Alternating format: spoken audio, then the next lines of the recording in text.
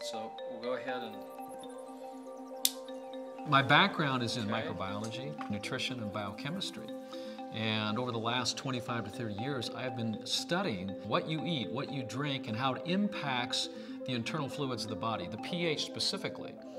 I have discovered something that I think is incredible and is so very, very important. And that is that the human organism is alkaline by design, but acidic by function. If we can maintain the alkalinity of the internal fluids, then the longevity of our life can be extended to whatever we choose it to be. Anytime that we're expending energy, there's a waste product, it's an acid. Every function of the body, from breathing, uh, from thinking, even your thoughts produce acidity because a thought requires energy.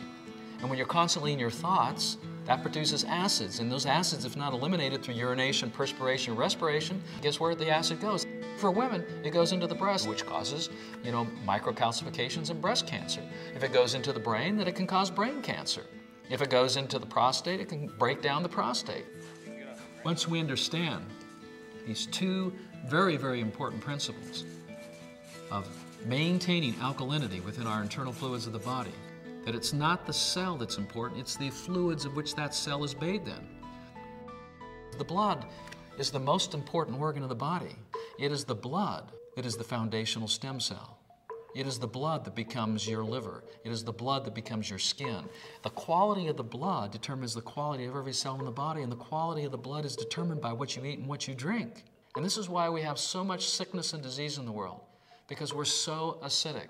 And, and the major contributor to acidity is animal proteins. That's also a representation of uh, maybe a diet that's, that's higher in carbohydrates or proteins. We need to get more greens and more alkalinity in the, into the diet. And So we've that- done this with bodybuilders when we take them off their protein diets, okay, and we start giving them uh, green foods and focus on building the blood. This is when they get strong and lean.